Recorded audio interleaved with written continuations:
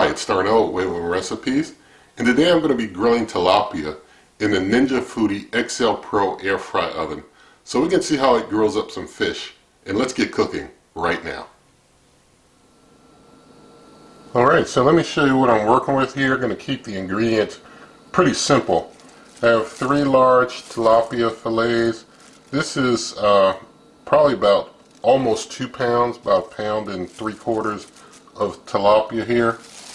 And I've got myself for seasoning, I'm going to be trying this uh, Kinder's premium quality lemon pepper seasoning for this one. Make like some lemon pepper fish out of this. And nothing in this video sponsored, just something that I saw and wanted to try out. And for anyone who was interested in where I got it, I got it at my local Costco. And so I'm just going to basically season up this fish with the uh, seasoning here. So just going to season one side and after seasoning one side and you know I could use other seasonings and things but I like the mix in this one. Its uh, main ingredient is sugar then salt then it's got some other spices and such mixed in but I also noticed it's got like some black pepper and other good stuff in there. It's a nice mix of different seasonings in this lemon pepper seasoning so I, I am hoping, Lord willing, from what it looks like in the mix, that it will stand well alone without any additional ingredients since I'm doing the lemon pepper thing. And so, uh, you know, I don't want to disturb the lemon pepper flavor much if the seasoning can stand well on its own. But this is my first time using it, and so and we get to the taste test, you'll get to hear from me about what I think about this seasoning.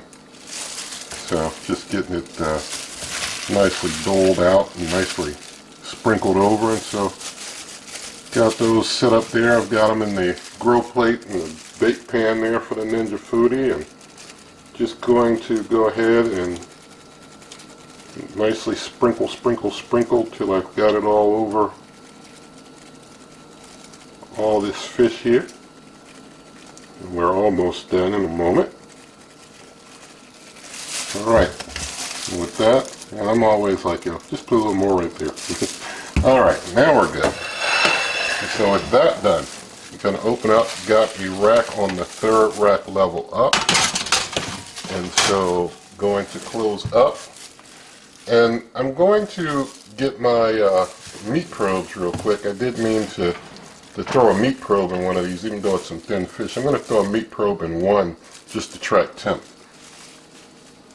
Now I've got my iGrill 2 meat probe. I'm only going to stick a probe in the one that's in the middle because anyone who's been watching this channel for a while doing cooks with this cooker, basically the piece of meat in the middle is going to be the one that takes the longest to cook. And I'm one who likes to cook everything till it's all well done. And so put it in that one and let that one get to a well done cook. And not going to worry about the others much even though they might get a little little more done but that's okay with me. So we've got that in there like that. Close it up. So now we're going to turn the cooker on and for this cook, I'm going to try and use the air fry function to grill up my fish. And we'll give it, um, I mean, it's not going to need 20 minutes, but we'll leave it at 20 minutes. And for cooking temperature, going to bring that down, we'll bring it down to a 375. And we'll do 375, see how long it takes to cook this fish up. Lord willing, it finishes in less than 20, but if it needs more, then I'll have to add more. But I'll just keep track of the temp until that piece in the middle gets to like 145 then pop them on out. I know I could pull them out a little earlier, maybe rely on some carryover. I'm very aware of that, but I like to cook all the way. That's my style.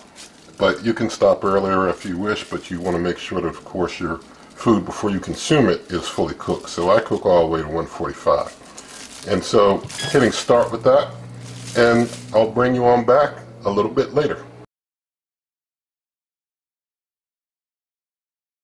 Alright, the fish has been cooking for almost, well, 18 minutes. So I'm just going to stop it at an even 18 minutes. And so we can say it took 18 minutes at 375. We can see we reached our target temp and, you know, it's even rising up a little more. But we're going to stop that. And here's our finished fish. So I'm just going to go ahead and get this piece here off the side, off the side here. Kind of just tiny bit stuck there, but not much. So you can see the finished fish, but it looks like it turned out pretty well. I've got a butter knife here, because this should be so easy to cut that you can move with a butter knife, and it is moving well and easy. You can see inside there, it's real nice and moist looking, nothing looking dry, nothing looking overcooked. But we'll take that piece there we'll do a taste test. So here's our finished fish. And so gonna get this piece here and do a taste.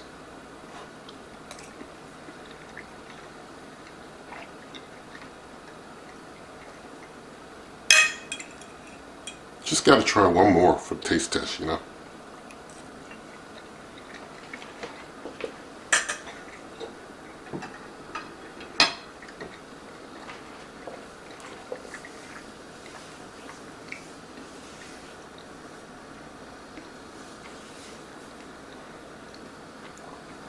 Alright, so basically the fish is very moist, very perfectly cooked, super moist, super nicely cooked. The lemon pepper seasoning is good. It tastes good. I've tried another lemon pepper seasoning that I didn't do in a video here, but uh, I'll just say it's the one that I got, um, well I guess I can't say that because they sell multiple lemon pepper seasoning. But, but it was another lemon pepper seasoning, and it wasn't as good as this one. The other one I got, the main ingredient was salt. And so trying to get things seasoned nicely and get a nice lemon pepper flavoring didn't turn out as nice because in order to get more flavor you ended up tasting a lot more salt because the main ingredient was salt.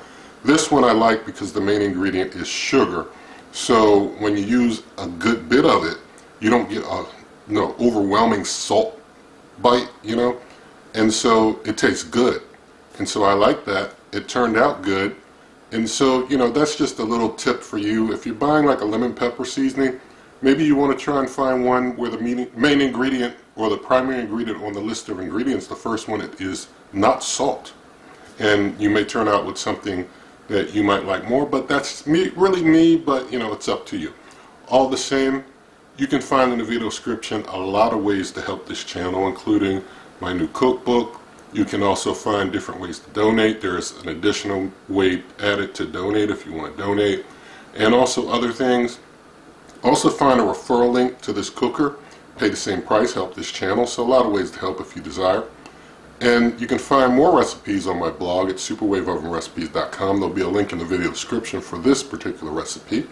And if you like this video, please do give it a thumbs up, share the video with a friend, leave your comments, subscribe, hit that notification icon, and good eating.